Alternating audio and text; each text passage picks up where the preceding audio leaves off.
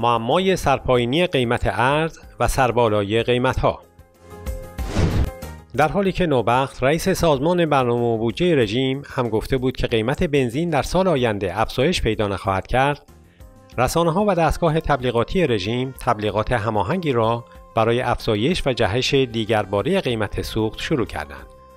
آنها با شیادی پرداخت یارانه بنزین را عین بیعدالتی و ظلم به اخشار محروم قلمداد می کنند چرا که سه دهک بالای جامعه قسمت اعظم یا نیمی از این یارانه را تصاحب می کنند.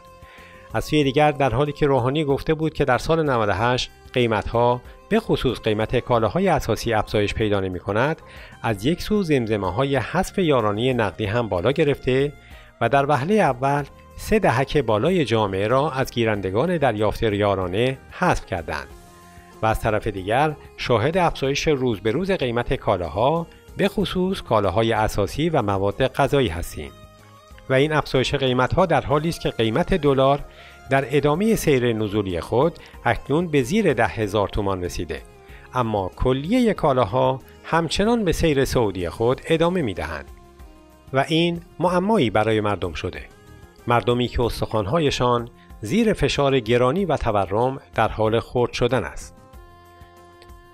گرانی روز به روز کالاها چنان ابعادی دارد که تلویزیون حکومتی هم با همه تراشی که برای عادی جلوه دادن شرایط انفجاری کنونی نیز ناگزیر از اذعان به آن و پخش گزارش هایی در این باره است. امروز شنبه سری به بازار زدم و قیمت ها را رصد کردم. دلارم که اومد پایین بازم قیمت همون بالا ایستاده. اصلا به هیچ عنوان تخفیف اصلا میگن جنس نداریم ما برای ما نمیصرفه برای ما نمی‌تونیم تولید کنیم.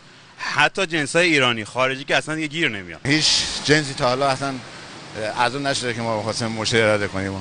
افزایش قیمت کالاها وقتی به کالاهای اساسی و مواد غذایی که عموم مردم روزانه با آنها سر و کار دارند می‌رسد و قیمتها روز به روز و حتی ساعت به ساعت بالا می رود داستان رنگ مصیبت و فاجعه به خود می گیرد. مدتی است که قیمت مرغ در بازار میل پرواز دارد. مرغ 10 و 200 بود الان 11580 تن آوردن برامون. ما هم دوازده میفروشیم یه هفته 1500 تن خیلیه. 11 و 400 الان 12 و 200 شنبه گرون میشه سه شنبه ارزون میشه از نو پنج شنبه گرون میشه. امروز قیمت مرغ در بازار رشد قابل توجهی داشت. قیمت مرغ الان چنده امروز؟ 12100 تومن نمی‌دونم تو یه روز چه اتفاق میفته که 200 تومن 300 تومن افزایش پیدا کنه من واقعا نمی‌دونم. یه دونه مرغ خریدیم 30000 بنا به گزارش بانک مرکزی رژیم در آبان ماه گذشته طی یک سال اخیر نرخ لبنیات 57 درصد تخم مرغ 56.6 دهم درصد، برنج 21.6 دهم درصد، حبوبات 15 درصد، میوه های تازه 68.3 دهم درصد، سبزی های تازه 39.3 دهم درصد، گوشت قرمز 39 درصد، گوشت مرغ 49 درصد، چای 24 درصد، روغن نباتی 44 درصد و قند و شکر 42 درصد افزایش یافته است. بر اساس این ارقام متوسط افزایش قیمت مواد غذایی بیش از 50 درصد است. این در حالی است که دولت تنها وعده افزایش 20 درصد حقوق کارگران و کارکنان دولت را داده و قیمت خرید گندم توسط دولت از قرار کیلویی 1470 تومان اعلام شده. در حالی که به گزارش خبرگزاری نیروی تروریستی قدس تولید یک کیلو گندم بیش از 2000 تومان است و این باعث شده که بسیاری از کشاورزان کشت و کار را رها کرده و برای سیر کردن شکم خود و خانواده هایشان به حاشیه شهرها پناه بیاورند. اگر افزایش سرسام‌آور قیمت مسکن را به این مجموعه اضافه کنیم، این تابلو سیاهتر و حراسانگیزتر می شود و این سوال را جدیتر می کند که راز افزایش قیمت کالاها در حالی که نرخ ارز و سکه رو به کاهش است چیست؟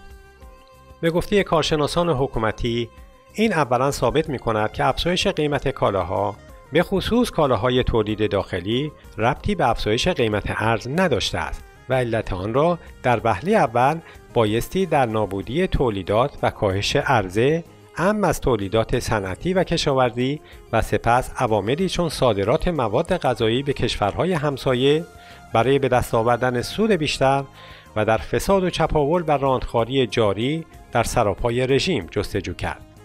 تنها به عنوان یک قلم از این غارتگری مافیاهایی که واردات کالاهای اساسی را در چنگ خود دارند برای واردات کالا عرضه 4200 تومانی از دولت دریافت کردند اما کالاهایی را که وارد کردند با قیمت 15 16 هزار تومانی فروختند و سودهای سرسام‌آور هزاران میلیاردی به جیب زدند.